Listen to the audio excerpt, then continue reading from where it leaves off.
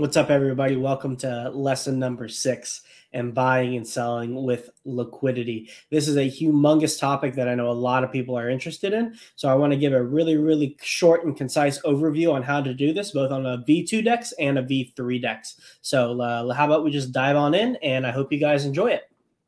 So let's start with uh, buying and selling with uh, LP on a V2 DEX. So if you remember, a V2 DEX uh, spreads your liquidity from zero to infinity.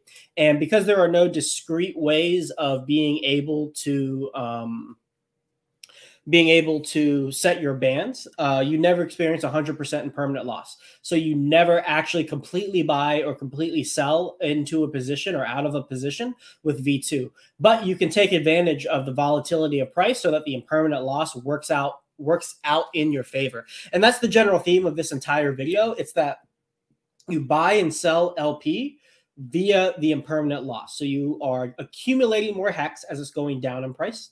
And you are accumulating more USDC as hex is going up in price. And so if you wanted to buy hex with liquidity, you would need to provide it towards, say, the top at the top of a given uh, range, maybe all time high, local high, whatever it might be. But you need the price to go down afterwards. So when you add LP, you're adding much more USDC than Hex. Technically, it's 50 50 at the given price. But because the price is higher, you need to be providing more USDC. As the price is going down, people are putting Hex into the into the pool, taking out USDC, which is, is essentially buying. You know, you are giving up your USDC and you're accumulating Hex. So as the price goes down, your LP position in terms of absolute token numbers has more Hex tokens in it than when you started and less USDC tokens, which is essentially like you're buying a position over time.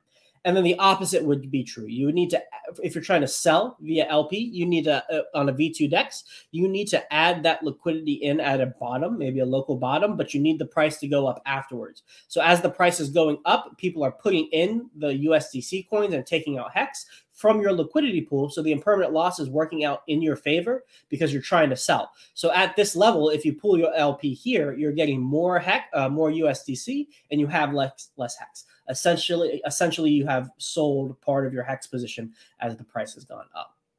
Um, now, on a V3 system, this is much more effective because you can set discrete ranges. And because you can set discrete ranges, you are um, putting the uh, hex tokens above the price. So with with V3, you don't have to necessarily put your put two coins in at the same time. You can put single-sided liquidity positions either above the price or below the price. So if you're looking to sell with LP, you would want to put your hex above the price, which means you have a 100% position that your LP is a 100% in hex.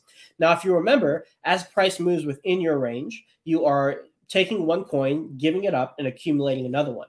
So if these two blue bars represent your position and then this red bar represents the price, well, if price moves within your range and gets halfway through, you are now 50% into Hex and 50% into USDC.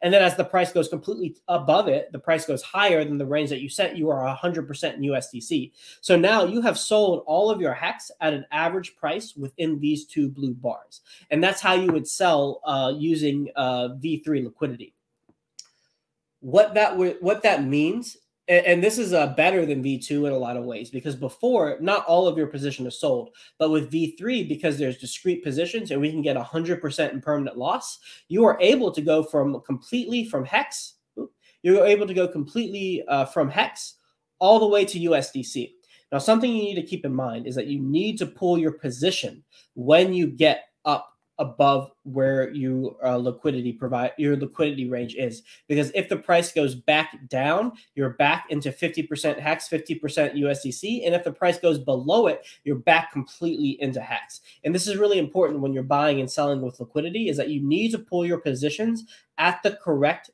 point in time where you have bought or sold the position that you want. So if the price goes completely out of your range, pull your position so you get all of your USDC because if you don't and the price goes back down, you've essentially started to buy hex again. And that's the that's what this is representing right here. If you wanted to sell your hex, you would place 100% USDC below the range and as it goes down below the price, you would then uh, be accumulating hex. And if it goes back all the way below say right here, you're back 100% into Hex and you have now bought Hex at this average price right here. So for V2 style, if you wanted to buy, you need to place liquidity at a high and have price go lower so that you're accumulating more of the token. And if you wanted to sell, you need to place it at a uh, low. And as the price goes up, you are selling into that liquidity range. For a V3 style position, if you wanted to sell, you put your discrete position above where the price is. You're 100% in that token. Price moves through that range. And now you've completely sold out into the other token and you pull your position. If you're trying to buy, you put your uh, LP range below the current price in a discrete range. The price moves below your position. And so now you're accumulating that USDC again, and you're back 100% into Hex. And that's pretty much the nuts and bolts of it. It's really not a complicated uh, idea. Uh, but you need to understand impermanent loss first before you do this because you need to understand how to put your liquidity, where to put it, and what kind of DEX to put it in so that you are buying or selling with the maximum amount of efficiency. The tighter your range is on a V3, the faster you're going to sell out. The wider it is, the slower you're going to sell out. So, really, if you are trying to sell or buy on a V3 DEX, you really want that range as tight as possible so that it slips through your price, so that the price slips through your range really, really quickly.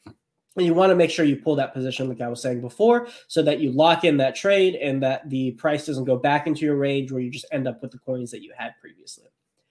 That is it for buying and selling with liquidity. It's a very, very easy uh, concept. I know a lot of people are really interested in it, and I know a lot of people um, get kind of confused with it, but it's super simple. Watch this video again. This shouldn't be a very long video. And um, if you have questions on it, book a 15 minute call and we can talk through your specific situation or maybe clarify some of these concepts. I hope you enjoyed this lesson on buying and selling with LP. And the next one is going to be Heart's Law. So I'll see you tomorrow for lesson number seven. Peace out.